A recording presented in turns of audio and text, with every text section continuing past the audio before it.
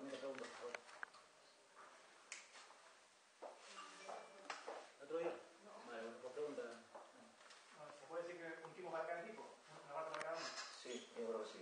Yo creo que sí. Es decir, yo para mí sí.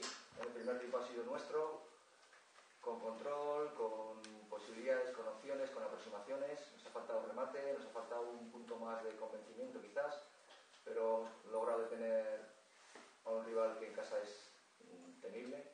Y en el segundo sobre todo que ellos han estado encima. Sabemos que es un equipo de rachas, que es un equipo que cuando coge la onda hay que pasar ese, trago y a pesar de 1-0 nosotros, pues en nuestra línea, ¿no? La trayectoria de, todo, de toda la temporada, con mucha fe, con mucho coraje, otra vez el equipo ha vuelto a sacar la casta que tiene para empatar un partido complicadísimo fuera de casa. Los jugadores me decían que el año pasado perdíamos 3-0 y que salían descontentos. Este año hemos estado hoy hasta el final.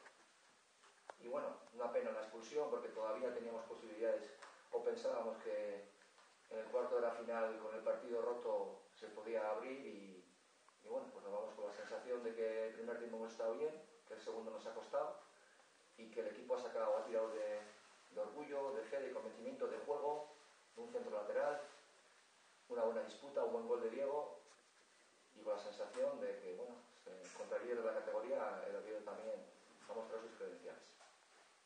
¿A qué se cambio de la, de la primera a segunda parte? ¿No es mérito del Tenerife? ¿Es más de mérito del Oviedo? Eh, yo creo que el, Tenerife es un equipo que lógicamente en casa empuja, ha encontrado eh, el, juego, ha encontrado la, fluidez que en el primer tiempo le ha faltado y es cierto que en, ese momento nos ha faltado un punto de, de, de, orden para poder salir un poco más. Eh, ha sido un momento en el que ellos han mostrado su categoría y, como digo, eh, los partidos hay que saber trabajarlos. Y el, el Oviedo ha estado en el partido de principio a fin. Evidentemente tenemos un rival de, máximo goleador, de, mucho, de mucha entidad, y hoy en el Oro yo creo que el empate es justo.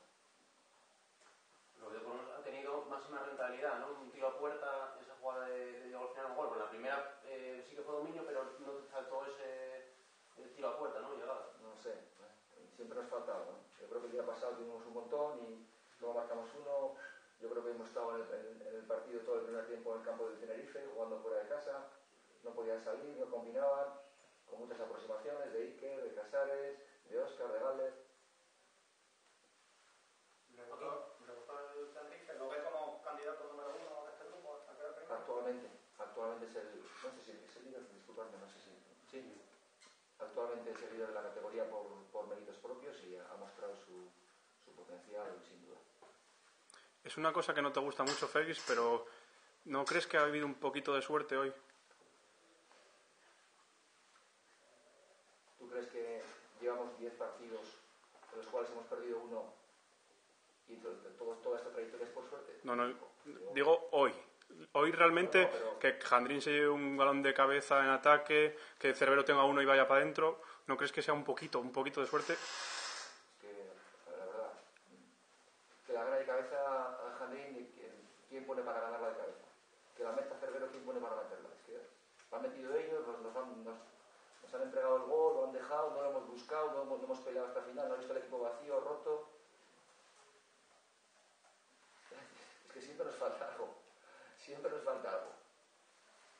Hemos empatado fuera del campo de líder, pidiendo por detrás del marcador. Hemos acabado con 10 jugadores.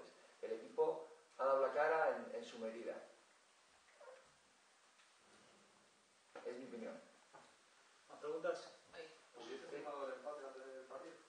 No, no. no. Vale. Con el empate del Tenerife y el Oviedo, pata de bien, se está comprimiendo la falta de clasificación. Yo creo que nosotros seguimos nuestro camino, ¿no? Yo cuando antes de venir aquí hablé de que era un buen sitio para, para evaluarnos.